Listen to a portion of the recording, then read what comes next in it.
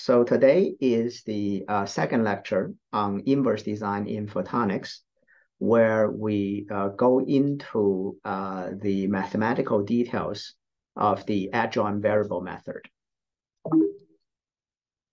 So uh, here's a brief review of what we talked about last time. Uh, in the uh, optimization, what you would like to do is to adjust the parameter of a device uh, so that eventually the device operate uh, uh, for what you want them to operate. For example, in the design of a metasurface, you may want to adjust some of the geometric parameters of each of the meta-atom until a incident plane wave focus onto a point on the other side. So uh, the in this case, then, uh, for this focusing problem, you can imagine a uh, cost function or that measures the device performance to be the intensity of light at the focal region. And the goal of the computational design is then to focus, uh, to focus is then to uh, maximize the intensity of light at the focal point. And for that purpose, you compute the derivative of this intensity at the focal point with respect to design parameters, for example, the radii of these uh, uh, circular looking or cylindrical looking meta-atom, once you know the gradient, then you move in the parameter space along the gradient direction until you reach an optimum uh, of the device. Uh, so this is a review. And uh, from this review, you can see one of the key steps in the uh, uh, in this optimization process uh, is to be able to compute the gradient. Uh, last time we talked about a uh, naive way to compute the gradient through finite difference, where the number of computation that you need to do scales linearly with the number of parameter that you need to consider. Uh, today, we're going to talk about the adjoint method, which is a remarkable method that the number of computation you do is essentially independent of number of the parameter that you are trying to adjust. So uh, to start, uh, let's first briefly review uh, how you would do the simulation. Um, the adjoint method is perhaps best to be presented in the frequency domain so imagine that you are solving Maxwell equation at a single frequency. Then you can transform the Maxwell equation uh, into this form where E here is the electric field, the epsilon R here is a permittivity distribution, and the P here uh, denotes some of the sources. So uh, in other words, this is the equation that take a particular permittivity distribution, put in the source, and generate the resulting electric field. Now, this is already in the form of a linear system where you have a matrix, and the matrix here is the term here in the uh, bracket, uh, operates on a vector that is the electric field that's equal to a source. So uh, this linear system can be solved in a variety of different ways. Uh, formally, uh, you can write the solution in terms of the inverse of the matrix times the right-hand side. Now, I emphasize that in reality, very rarely do you actually form the inverse of the matrix. So we use this notation only to denote that we are solving this linear system in some way.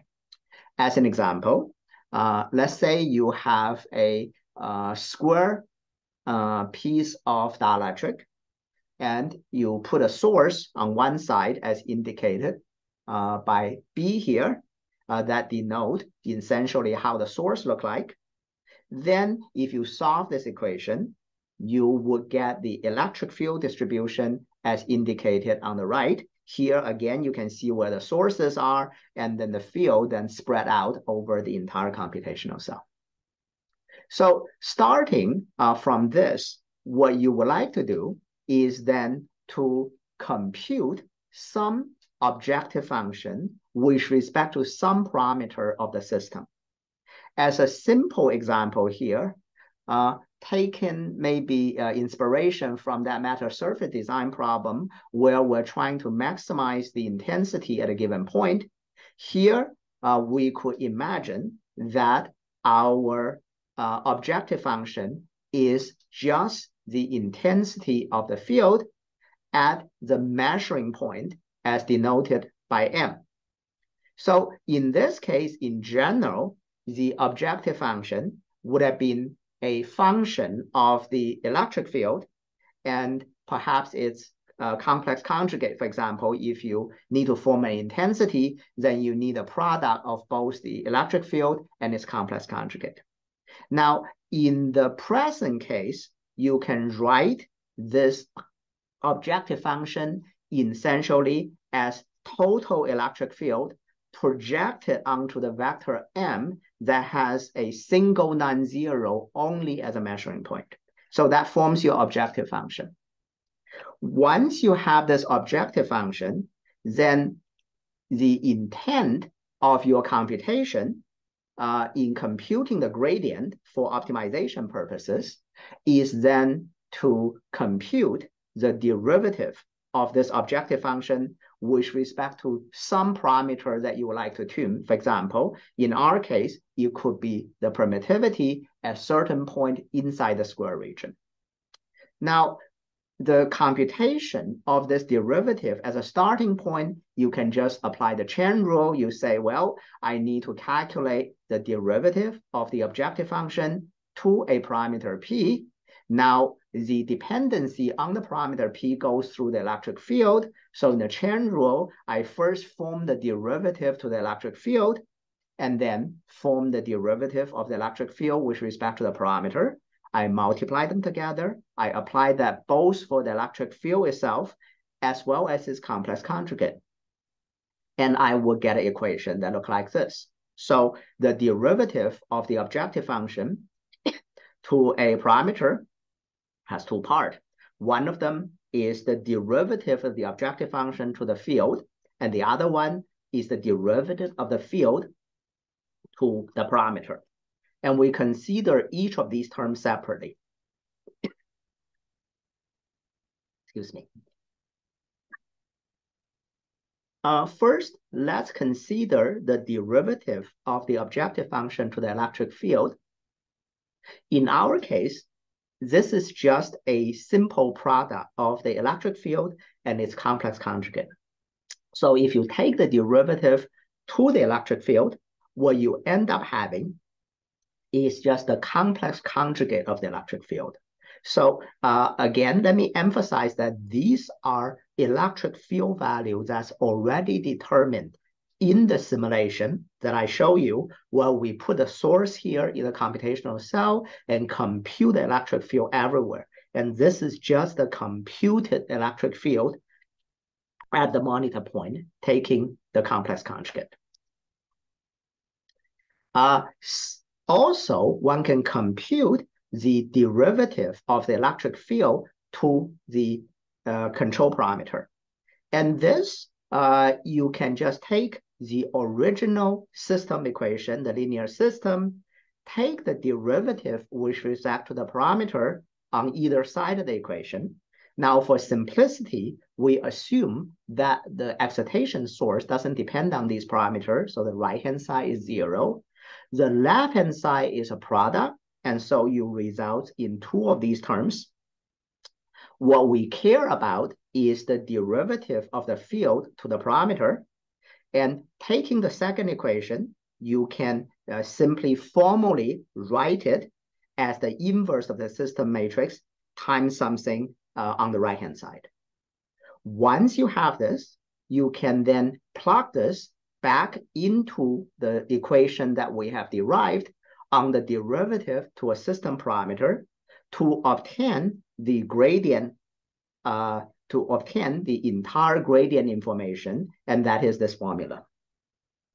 So now let's discuss each of the term in this formula again to develop a way to efficiently evaluate the term inside the braces. So um, the inside the equation, there are uh, essentially four terms. The one on the left is the derivative of the objective function to the electric field. As we mentioned, that is just the complex conjugate of the field at that point. We then have the inverse of the system matrix that's come from the Maxwell equation. We have the derivative of the system matrix which is back to the control parameter. And finally, we have the E. The E here is perhaps what we can call original field, is the field where we put the source in and compute the field distribution elsewhere. Now, to efficiently evaluate this product, one of the most important steps in the agile in the adjoint variable method is to realize that the first two terms where you form the product can be evaluated by a system equation solving. So if you define the product of the first two terms here to be the adjoint electric field, then you can see that to obtain this adjoint electric field, in fact, all you need to do is to solve this linear equation.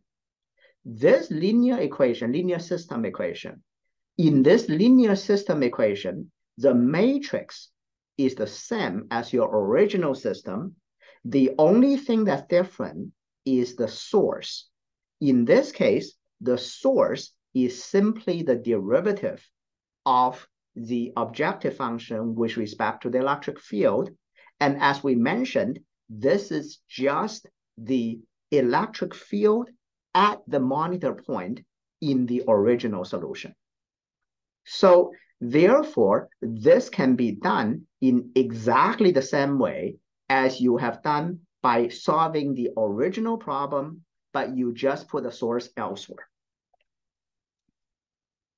Once you have done that, then the gradient calculation become simply a field overlap calculation. You take the original field, you take the adjoint field, and you form a overlap calculation with respect to this derivative of the system matrix to the control parameter. Now let's discuss a little bit of the derivative here in the middle. Uh, so uh, the derivative here is the system matrix to a control parameter. The system matrix coming from the Maxwell equation is this. And the first part of this doesn't depend on the permittivity, so you don't have to worry about in the derivative. And usually the derivative come from the permittivity distribution to some control parameter. So therefore, what shows up in the middle in the end is just the derivative of the permittivity to some control parameter. Uh, so as an example, let's say that you are interested in uh, varying in a particular box the permittivity uniformly. So in this case, you can take the derivative of the permittivity to the control parameter, but that also is the permittivity inside the same box. So the derivative here is just a delta function. And then when you put the delta function back in, all you have in the term in the braces are now just the overlap integral between the adjoint field and the original field. And so uh, the general procedure in the adjoint variable method, therefore, can be summarized in this slide that consists of three steps. In the first calculation, you compute the original field, or sometimes called the forward field, which is the original simulation problem that you care about. You put a source in, you have a structure, and you want to know anything, for example, the field distribution inside the structure. Then in the second calculation, you do what's called the adjoint. In this case, you put a, for a given objective function, you generate the source distribution coming from the original field distribution in the point detection scheme that I talked about, for example, the source would be right at where you detect. Starting from the adjoint source, you then again solve the same Maxwell equation to obtain a field distribution. Once you have done this, you then take the overlap calculation between the adjoint and the forward fields in the region where you vary the parameter. And this allow you to compute the derivative of a cost function to the parameter in the system. As I mentioned, one of the most important innovation in the adjoint variable is that when you have large number of parameters, you can still repeat the same calculation with two full simulation, one forward, the other one adjoint. And to account for multiple parameters, you just need to form the overlap integral or, or the overlap between the forward and the adjoint in the region with respect to these parameters. So as a result, independent of the number of parameters that you are trying to vary, to compute a gradient to these parameters, only two full simulation is needed.